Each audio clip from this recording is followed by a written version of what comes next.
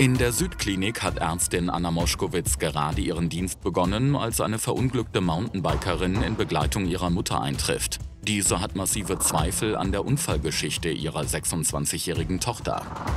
Mein Name ist Moschkowitz, ich Ja. bin die Ärztin. Das ist meine Kollegin, Schwester Nicole. Ja. Ähm, wir kümmern uns um sie.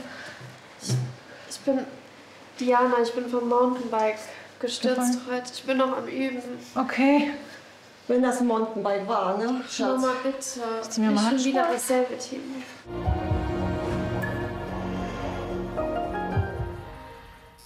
Wieso sagen Sie, wenn das Ja, ich Mountainbike glaube das war? nicht wirklich. Ich glaube das nicht wirklich. Sie hat in der letzten Zeit immer wieder Verletzungen, jetzt schon wieder so. Frau Günther, jetzt mal Wirklich, ruhig. ich bin eben noch Anfänger. Ich lerne noch. Mein Freund, der fährt auch ein Mountainbike. Das sagst du immer so, das sagst du immer. Okay, und Sie haben sich davon anstecken lassen, haben gedacht, ich versuche das auch mal. Also die Wunde an sich ist äh, sauber. Ähm, Sie haben sich hier am Bein und am Ärmel. Also sieht Ja. mir jetzt wie eine Schürfwunde aus, darf ich einmal? Ja, klar. Sollen wir vorsichtig die Jacke vielleicht ausziehen? Oder? Die Nase. Dürfen wir, ja, die schaue ich mir auch gleich an. Dürfen wir einmal Ihre Jacke aufmachen? Ja, letztes kamst du sogar mit blauen Augen. Naja, Ich kann mir das nicht vorstellen, dass das vom Fahrradsturz ist. Das war bestimmt dieser Typ. Die Mutter zeigte auch bei der Untersuchung der äh, Tochter, äh, man kann sagen, sehr auffällige Episoden, weil sie wirklich ähm, manchmal äh, von jetzt auf gleich anfing stark zu atmen und ähm, ja wirklich ein bisschen auch nach Luft schnappte. Und das Ganze kam mir doch sehr komisch vor. Also Frau Günther, ich denke, gebrochen ist da nichts. Das ist halt eine Schürfwunde. Ihre Nase möchte ich mir gerne mal anschauen. Oh ja, das ist auch noch ein älterer blauer Fleck. Was? Der hat dich bestimmt geschlagen. Tim noch nicht. Mama, Doch, bitte, was erzählst du denn da? Frau Günther, Das ist das. Frau Günther, Tim hat in der letzten Zeit immer wieder Verletzungen und das ist garantiert von ihm. Mama, Tim ist auf der Arbeit, der kommt Ja, ja. auch gleich. Der macht sich Sorgen. Wie, der kommt gleich. Ja, der, der ist auf dem Weg hier. Ich hab ihn angerufen. Günther, jetzt beruhigen Sie sich doch mal. Bei der Mutter der Patientin war mir aufgefallen, äh, dass sie, man kann sagen, in gewisser Weise allergisch auf den Freund ihrer Tochter reagierte und auch sonst wirklich sehr äh, aufgeregt und nervös zu sein schien. Dass das alles noch so eine dramatische Wendung nehmen sollte, konnte ich allerdings zu diesem Zeitpunkt noch nicht wissen. Also sie ist sehr schlecht auf ihren Freund zu sprechen, kann es sein? Schon immer? Ja, schon seit ich ihn vorgestellt habe. Okay, ist irgendwas passiert? Ich habe erst gedacht, die kennen sich von irgendwoher oder weiß ich nicht. Ich hatte immer dieses Gefühl, sie streitet das ja ab. Aber reagiert immer aggressiv auf ihn, wenn er plötzlich dasteht und Also kann man nicht anders sagen. Das denkt, eine er würde mich schlagen und solche Sachen. Ich würde gerne noch mal mir ihre Nase anschauen. Ja. Ihre Jacke können Sie gleich anziehen, ne? Ich mal? Bin ganz vorsichtig. Weh, ne? Ich würde die gerne röntgen. Ich gehe zwar nicht davon aus, dass die gebrochen ist, aber wir müssen es ausschließen. Ne? Klar. Das tut meistens weh, wenn man sich die Nase da verletzt hat, aber selten ist das eigentlich gebrochen. Das würde dann eigentlich noch schlimmer aussehen, denke ich. Aber wir gehen auch nochmal sicher. Sie, geht das? Tetanus waren Sie geimpft, ne? Ja. Ja, okay. So. Ich habe einen jungen Mann, der möchte gerne zu seiner Partnerin. Ist das Hallo? für Sie okay? Hallo. Jetzt gut? Ich bin gestürzt vom Mountainbike. Warum machst, was machst du da? Ich, du weißt, dass ich noch nicht so ein Profi bin wie du. Ich habe meine Tasche. Günther. Uns annehmen. Was war jetzt? Was Jetzt ist es egal. Kannst du warten? Leute, ganz ehrlich. Mama? Frau Günther? Frau Günther? Was ist passiert? Frau Günther? Versuchen Sie mal ganz ruhig mal die, Rück die Rückatmung. Mama? Frau Günther, ganz ruhig. Ganz ruhig. Schön. Ruhig atmen. Ganz ruhig weiter, ganz ruhig weiter. Schön ruhig atmen. Alles gut, alles Ganz gut. ruhig, Auf den Kopf aufpassen. Ganz Frau Günther, ganz ruhig. Könnt ihr nicht helfen? Ganz ruhig. Tief atmen, tief atmen, tief atmen. Tief atmen. Ganz ruhig. Alles gut, alles gut. Alles ruhig. Sie werden jetzt wieder ruhig. Das wird schon, das wird schon. Ganz ruhig weiter, ganz ruhig. Ganz ruhig. Wir machen das super. Hm? Frau Günther, alles gut. Frau Günther, alles gut. Alles gut. Alles gut. Sehr gut machen Sie das. Setzen Sie sich mal vorsichtig aufsetzen. Setzen Sie sich mal vorsichtig auf, Frau Günther. Ich glaube, das geht schon. Ganz gut. Vielleicht gehen, gehen Sie mal vorne um die Ecke. Nehmen Sie mal vorne.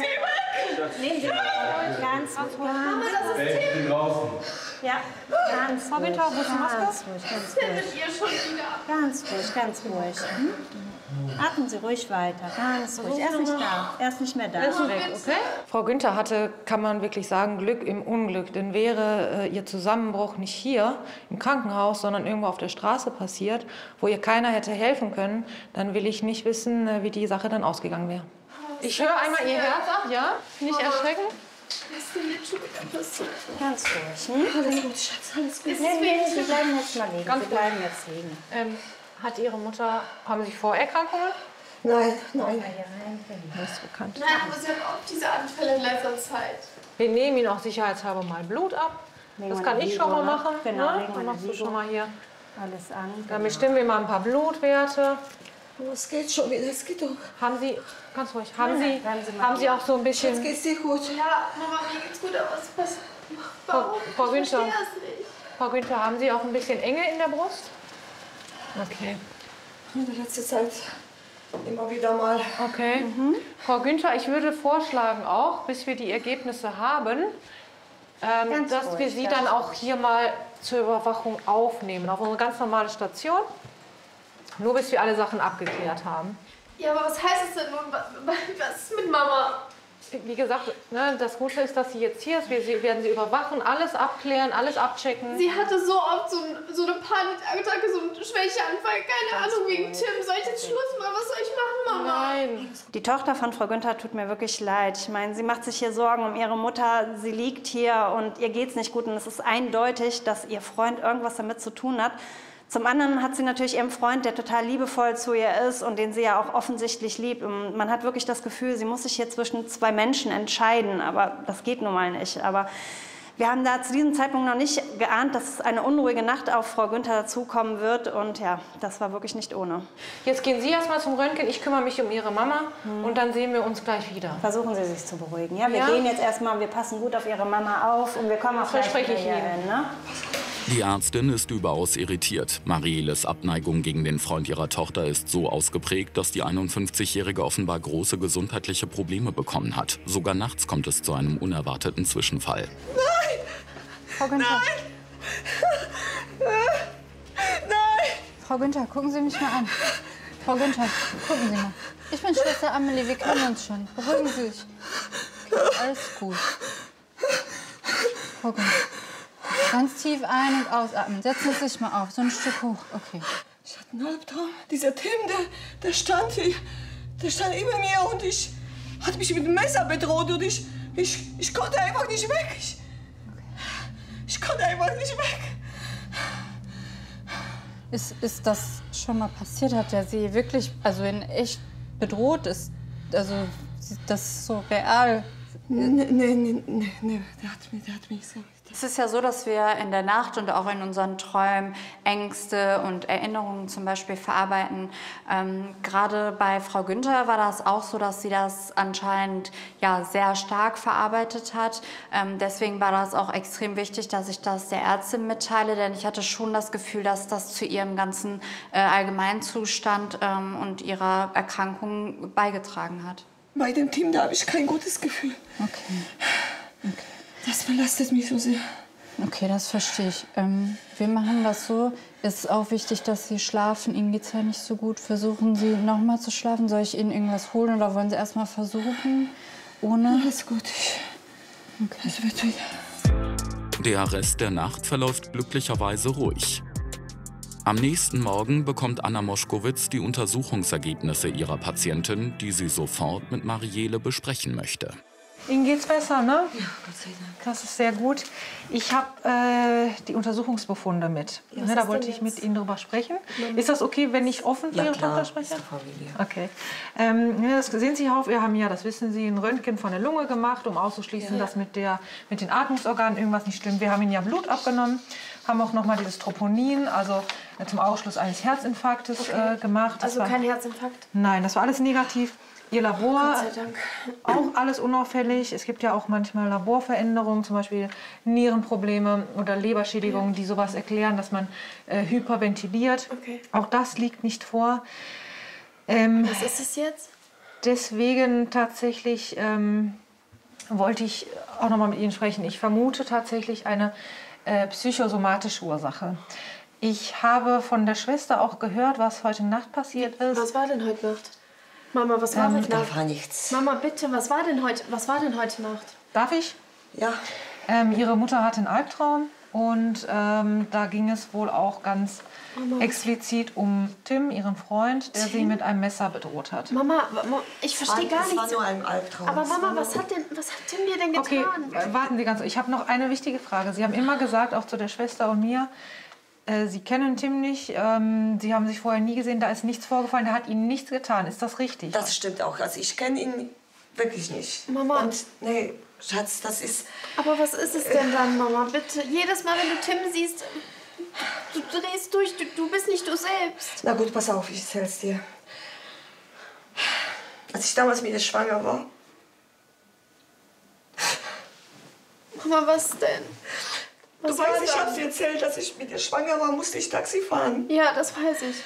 Und kurz bevor ich aufgehört habe, kurz bevor ich in Mutterschutz gegangen bin, da, da, hat, mich, da hat mich ein Mann überfallen. Aber Mama, was Und der, der hat mich mit einem Messer bedroht. Und,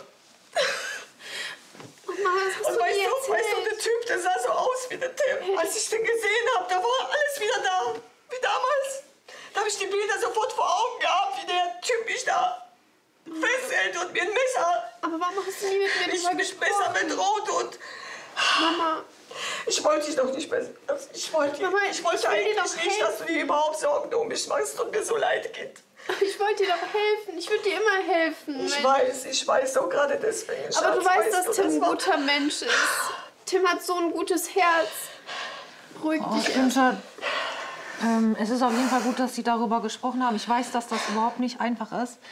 Ähm, es hört sich jetzt blöd an, aber das Wichtigste ist, dass Sie das jetzt identifiziert haben, dass tatsächlich Tim auch der Auslöser dafür ist. Aber das heißt nicht, so wie Sie befürchtet haben, dass Sie jetzt mit Tim Schluss machen müssen. Um Gottes Willen, das sollen Sie auch nicht. Sondern es gibt die Möglichkeiten, ich denke, dass Ihre Hyperventilation, ne, dieses äh, vermehrte Atmen, diese Panik ähm, aus, oder von einer sogenannten posttraumatischen Belastungsstörung kommt. Dafür charakteristisch ist, dass die Patienten nach einem traumatischen Ereignis innerhalb von sechs Monaten oder, wie man bei unserer Patientin gesehen hat, manchmal auch verzögert, Flashbacks haben. Das bedeutet, sie erinnern sich ständig an das traumatische ähm, Ereignis.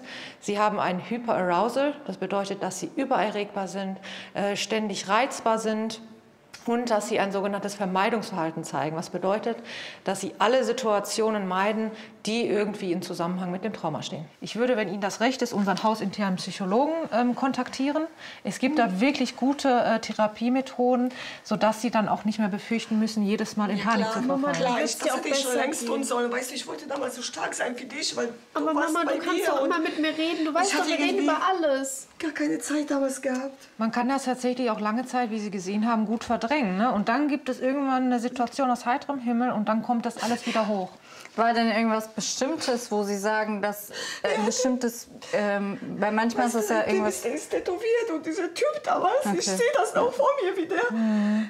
der, der hat mit dem Messer, der hat die gleichen Tattoos gehabt wie der Tim. Aber Weißt Mama, du, Tim, ich das gesehen Mama habe, das Tim, war... Tim kann das doch nicht gewesen sein, Mensch. Das, Tim Ja, ist so alt ist wie klar, ist klar. Heutzutage sind ähm, sehr viele Menschen tätowiert, gerade auch jüngere Menschen. Ähm, also da ist ja natürlich nicht jeder ähm, kriminell oder hat eine kriminelle Vergangenheit. Aber es gibt natürlich schon Wörter und auch bestimmte Symbole, auf die man achten sollte.